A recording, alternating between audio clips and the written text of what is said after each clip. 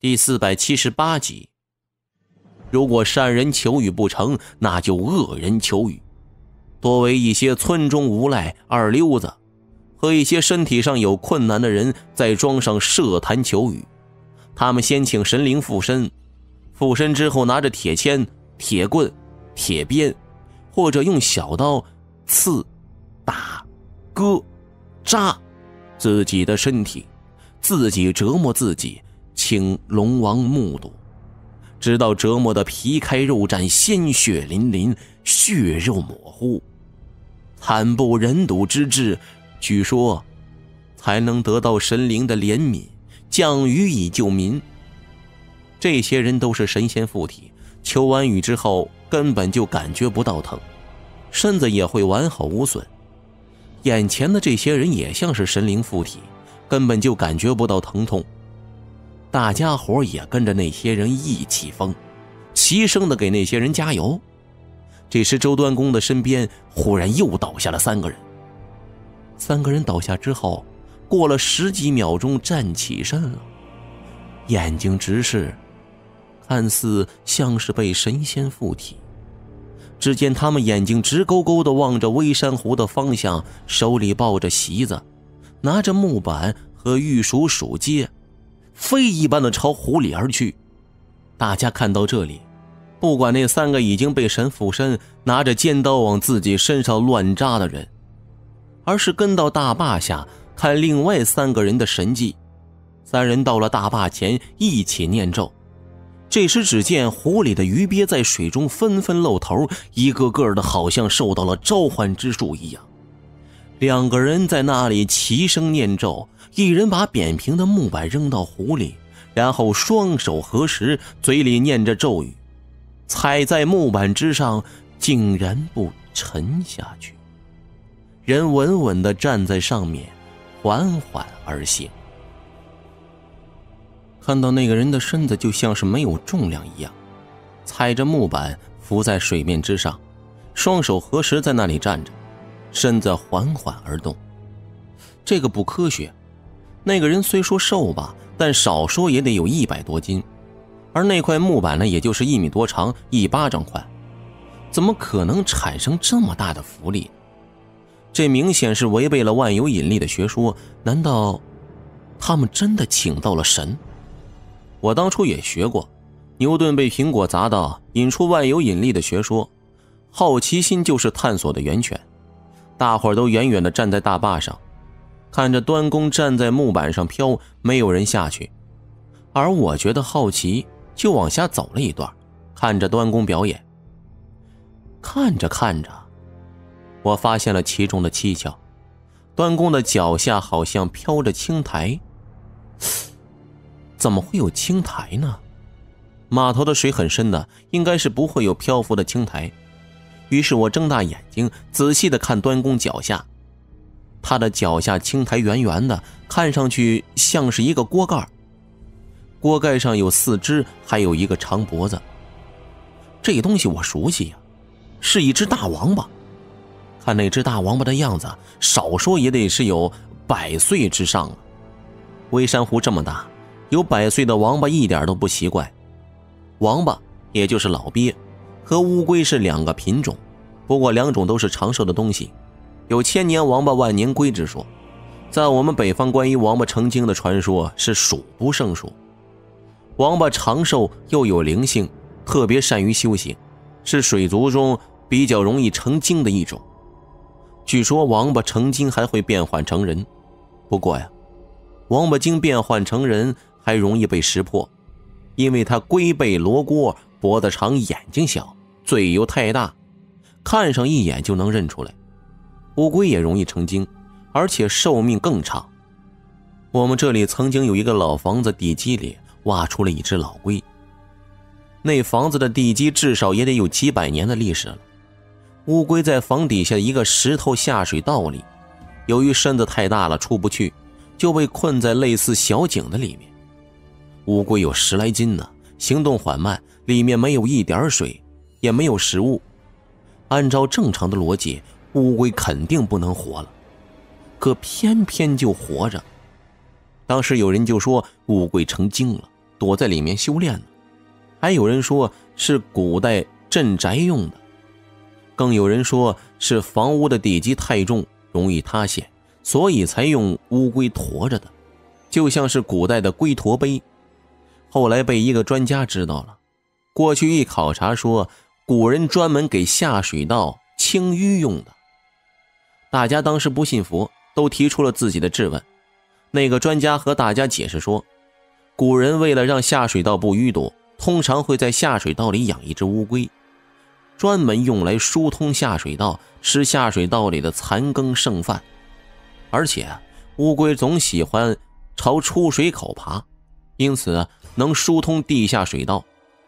还说以前每一幢威州居民天井里的大洗缸的地上部分气死之前。营造工人都要在下水管的管道里放一只小乌龟，这样就可以起到疏通下水道的作用。虽然专家这么解释了，但是庄上的人不信呢，还是把老龟当神给供了起来。由于环境的改变，那只老龟彻底的成了仙了，后来只剩下了一副龟壳，善男信女们依然供着。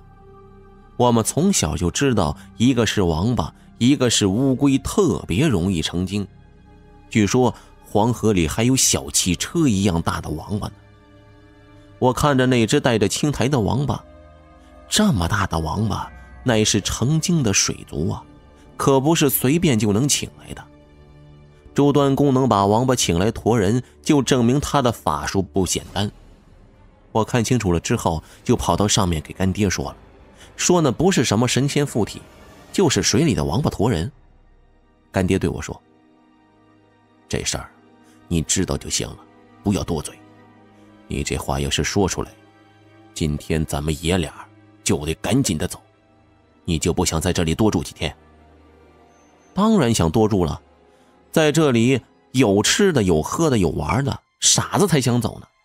于是我赶紧的闭嘴。”继续的看着三个端公表演水上漂，这让我不由得想起当年《射雕英雄传》里的裘千尺。那个端公在水中缓缓的前进，第二个端公扔下玉鼠鼠接，然后也踏了上去。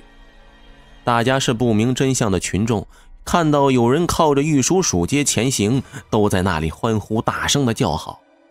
两个人下去之后，第三个人把芦席展开，抛向了水中，然后飞上了芦席，端坐在上面，嘴里念念有词。芦席像是一条船一样，围着码头转了一圈如此神迹，在场的人无不信以为真。三个端公转完了之后，回到岸上，身子一下子瘫在地上了，这表示身上的神又走了。然后装作什么都不知道的样子，大家觉得张大王显灵才会出现如此神迹，于是又给张大王磕头。我看人们都去看张大王了，自己赶紧的到码头下边，然后在码头我看到了几只王八，在水下缓缓而行。我在上面看得很清楚，王八的个头都不小。我在那里看着王八。这时，大坝上人声鼎沸，人群慢慢的朝着彩棚走去。码头上顿时就剩下了我一个人。这时，水中有一只王八伸出头来，想看看人群走了没有。只见那只王八先伸出了鼻子，然后慢慢的伸出了头，瞪着小绿豆眼，张着嘴，使劲的伸着脑袋朝岸上看，眼巴巴的看着。四只爪子还乱蹬，支撑着小脑袋，好像在盼望着什么东西。到底在盼什么东西呢？老王八看到我之后，马上就把头缩回去了，然后潜到水下不见了。那只大王八不见了，其他的几只也不见了。看不见那些大王八了，我也只好回去。到了大坝上一看，人们已经围到了彩棚前。我朝彩棚那里走，看到彩棚旁边的露天大锅开始冒烟了。我走过去看了看，锅前架着案板，下面放着一个个的大盆。问了一下才知道，烧羊肉汤敬大王、敬狐神是这里的规矩。不过周端公还给加了一个规矩，就是烧好的羊肉汤必须弄上三大盆，到码头上净水中的鱼鳖。我心中有些明白，怪不得那些老王八在水中等着呢，原来是想喝羊肉汤啊。他们背着人在水中行走，是利益的交换。人为财死，鸟为食亡，是不变的真理。像那只百年的老鳖，为了喝几口羊肉汤，甘愿受人驱使。由于王八驮人的事情我不能明说，我就藏在了心底。祭祀活动完了之后，送走了张大王，王二才算是忙完。剩下的羊肉做成了羊肉汤，那些忙活的人和大小端公大伙一起吃饭。饭菜简单，一碗羊肉汤和一碗猪肉汤。不过，这样的饭菜吃起来很香。吃完之后，把大小端公给送走了，王二他们就开始拆棚子。忙完已经是天黑了。到了第二天，一大早码头上就鞭炮齐鸣。我一问王大，才知道今天准备开船打鱼。早上没有吃饭，王二就来了，说这顿饭请我们到湖上吃，吃原汁原味的水煮鱼。为了让我们吃上鱼，他们的围网都下好了。这是他们这些天捕的第一网鱼，一定得先给我们两个贵客吃。第四百七十九集。我一听非常的高兴，于是就拉着干爹和王二去湖里吃鱼了。到了码头，我才发现渔船上竟然带着煤气罐和煤气灶，还有一个大铁锅。这些不用说，都是做水煮鱼吃的。王二请我们上船，渔船奔着微山湖而去。不过这次没有去草湾子捕鱼，其实去了也白搭。那里的大鱼呢，早让水老虎给吃了。渔船在微山湖上行驶，我吹着风，看着前面的大湖，闻着那水汽，感到整个的人从里到外都舒服。微山湖确实是一个避暑的圣地。渔船走了很长的时间，到了一片开阔的水域，那里有五六条渔船在停着呢，大家都在等着。这些渔船有好几条是和王二一样的船，他们都停在那里。没有看到谁在捕鱼，我看到这里就问王二：“那些人怎么不捕鱼呢？”王二笑着说：“他们啊，在等我们。其实你们没有来，我们就下了大网。这个网可不是普通的网，围了几十亩地的一片。这样的大网由于大，往往需要七八条船，几十个人共同作业。所以啊，你才看到那些船在等我们。”我和你说呀，我们的大网可不简单，网条子选用的是细麻线手工织成，网眼儿以露中等鱼为准。女人帮着织网片子，男人负责把织的网片连接在一起，形成网条子，扎上拇指粗细的网杠和网排，然后放进生猪血里浸泡，然后再放进蒸桶里蒸熟后取出晾干。这样才能下水使用。如果咱们运气好的话，一网能捕几百斤鱼。我盼着他们捕鱼呢。我们的渔船一过去，王二指挥着人就开始拉网，七条船一起拉网。从拉网的情况来看，渔网确实很大，网眼也很大。由于我们是客人，王二只让我们看，没有让我们动手。随着渔网越收越紧。小船开始齐头并进，王二让小船连在一起，大伙儿一起拖渔网。王二看着沉甸甸的渔网说：“大王爷保佑，钓鱼大师和赶鱼童子一定要给我们赶来一大网鱼呀！”确实，像王二说的，那一网还没有出水呢，就看见渔网的鱼在上下跳跃。看来这一网一定是大丰收了。随着众人的号子，渔网被慢慢的拉上来。我看着一大网鱼，真不敢相信自己的眼睛。一网下去，竟然能捕到这么多的鱼，一条条鱼在那里乱窜乱蹦。看来啊，我们今天真是有口福了，能吃到微山湖里现捕现做的鱼。王二喊着号子，大家齐心协力的把大渔网拖上来。鱼儿一出水，就在网里乱蹦，看上去非常的馋人。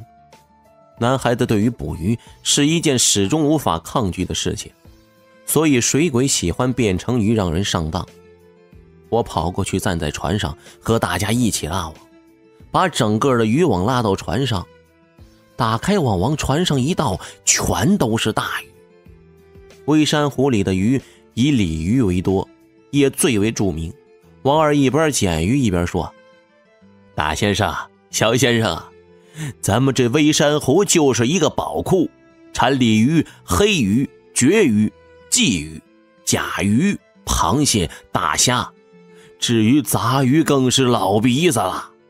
其中咱们这里鲤鱼最著名，名字叫四鼻孔鲤鱼。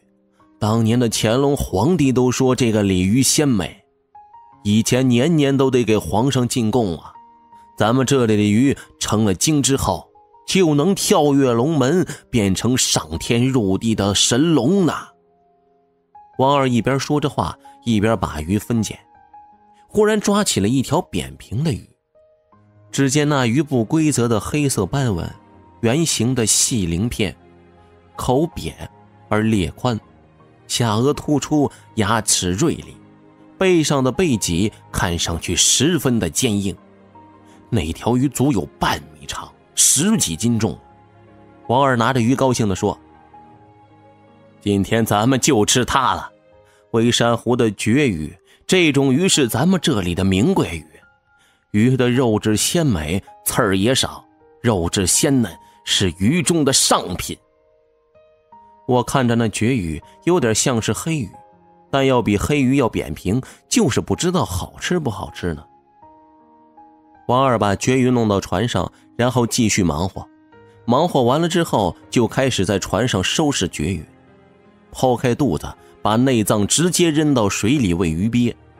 把绝鱼收拾干净，拿出了一块木板，把鱼放在上面剁成大块，然后用锅在微山湖里舀了半锅水，把鱼块放到锅里，就开始炖了起来。炖鱼的时候，只加了生姜、盐和辣椒。慢慢的，水开了，那水在鱼肉的周围冒着泡，一会儿的功夫，鱼肉白了，炖鱼的汤也白了。微山湖上的炖鱼简单，除了那几样东西，也不加别的调料了。不过那鱼闻起来特别的香，鱼香味让人垂涎欲滴。鱼和羊组成了一个“鲜”字，乃是极为鲜美的东西。不过羊肉带着膻味儿，鱼肉。带着腥味儿，有些人不太喜欢膻味儿和腥味儿，于是就错过了这鲜美的味道。微山湖的绝鱼是用湖里的水炖出来的，闻起来是一种肉香，闻不到什么腥味儿。鱼锅里的香味儿比平常不知道要鲜美多少倍。鱼炖好了之后，王二用大碗把鱼盛上，一人一大碗鱼肉。这时，其他船上也弄好了鱼肉。大伙坐在那里喝酒吃鱼肉，在船上打鱼的人喜欢以船为家，有时候来不及回去吃饭，就直接在船上吃饭了。在船上吃饭当然是少不了鱼鳖虾蟹了，舀上些湖里的水，随便放点佐料就能填饱肚子。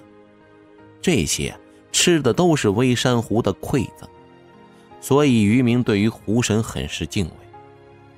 我端起大碗闻了闻。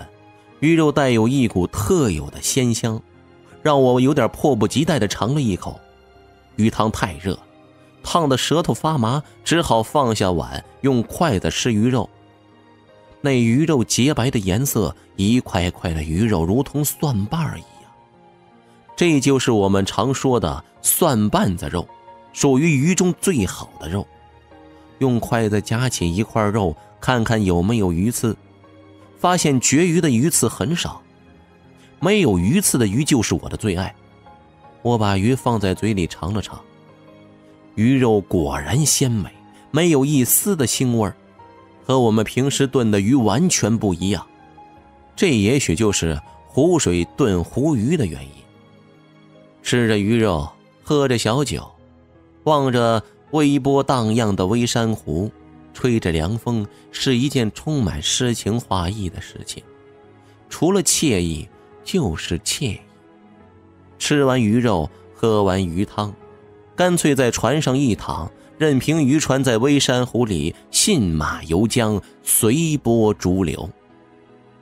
就那样，一直在微山湖上飘着，直到太阳高升，天气开始热起来。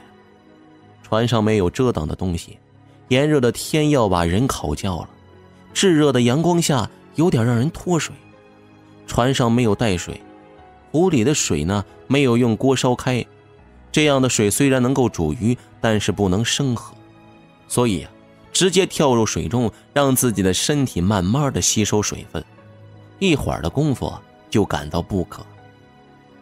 从水中上来，王二说湖面上太热了，要开着船带我们到芦苇荡里边凉快，顺便煮些鱼虾吃。微山湖的虾蟹非常出名，对于我这个大吃货来说，吃的东西总是无法抗拒的。既然王二提出了，那还有什么好拒绝的？去吃就是了，反正这些东西不用花钱买。船往前行了一段路，就到了微山湖的芦苇荡。微山湖的芦苇荡那是非常出名的，一眼望去全是绿色的芦苇，根本就看不到边儿。抗日战争期间，以微山湖为根据地的微湖大队、运河支队、铁道游击队等革命武装。出没在千顷芦苇荡里，活跃于京浦铁路线上，创造了许多可歌可泣的英雄业绩。现在是和平时期了，小日本早滚回了他们的东洋老家。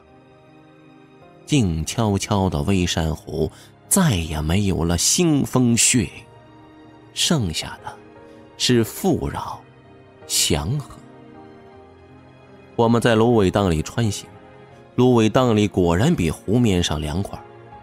船朝着芦苇荡深处而去，在船走动的时候，惊动了一群群的水鸟。那些鸟儿在我们的不远处叽叽喳喳的叫，好像对我们这些入侵者十分的生气。不过飞鸟即使是再生气，也不敢对我们怎么样的。